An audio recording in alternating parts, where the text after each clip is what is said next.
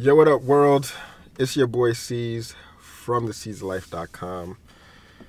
Today's Monday, MLK Day. Apparently, Arizona was one of the last states to recognize MLK Day.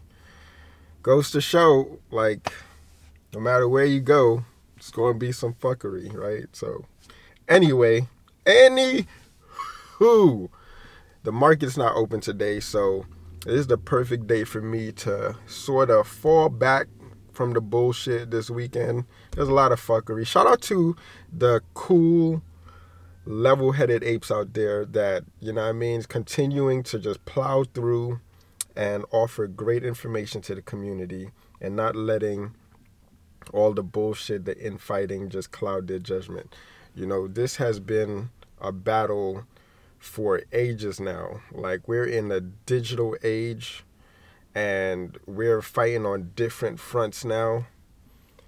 You know, it's a lot safer to fight this way, but still people get hurt, you know? So just take the time to step away and just stay focused, level-headed and remind yourself like why am I in this play? And I have my reasons. I've shared this numerous times on the channel. But for those who discovered me for the first time or those who are new to this movement, just understand that you're in a different space, you know, and the just stay away from all the infighting and whatnot and stay calm and cool and focused on the task at hand. And that simple thesis is the shorts will have to buy your shares from you in order for them to close their positions. All that extra shit, new terminologies, and all these different sort of things meant to distract you. That's all that it is, is just distractions. So I'm just chilling.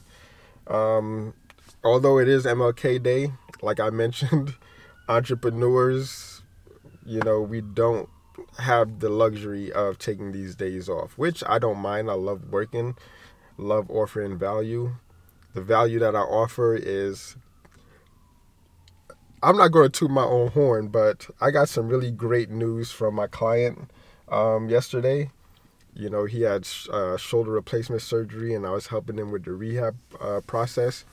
And he was able to play 18 rounds of golf yesterday, and I was like, "Yo," you know what I mean? Like, I'm like, "Yo," because I kept on telling them I love when I like preach something and the client like gets on board, is patient, is persistent, and it actually works out. It just makes you know all the effort that I put in worth it because at the end of the day they hire you for certain results and when you deliver it it just it just feels good, you know. So I'm happy for that. So I'm here to continue to work with him and get him to continue to do what it is that he loves, right?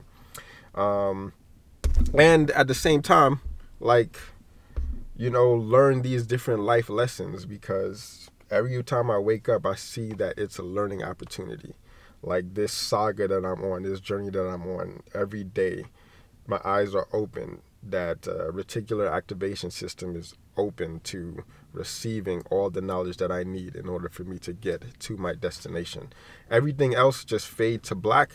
You know, like I could automatically see bullshit and step away from it, you know.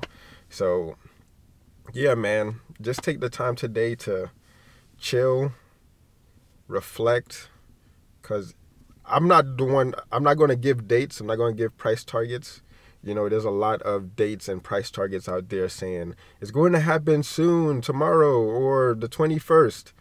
It's like just stay ready, stay on high alert so when it does happen, you know, you're not freaking out. So that's what that's my goal. It's like I don't know when, but I'm always on high alert. It's sort of like a, a doctor who's going to get the page that a trauma happened and he needs to get to surgery, right?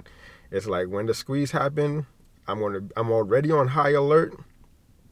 You know, Monday through Friday, don't have to look at the line. once the once the squeeze happened, I'm on high alert, waiting for my number to be called and for me to exit and continue that journey, right? So just be on alert and just wait for your number to be called, man. Just be patient, be persistent, just like I told my client, and it's gonna work out, man. That's the best that I can offer. You know, like all the bullshit on the internet, they can't tell you when the squeeze gonna happen. They could like tell you all the DD till they're blue in the face, but they cannot give you an accurate prediction of when the squeeze is going to happen what's the max price. You know, there's a lot of numbers floating out there, but just have the clear thought. Go in there with a clear thought, right? And make sure that your conscience is clean once you exit. That's all I can say. You know, all the other stuff is just for the birds, man. Strictly for the birds. Anyway, waiting for this gate to open about five minutes and then uh, continue the workday.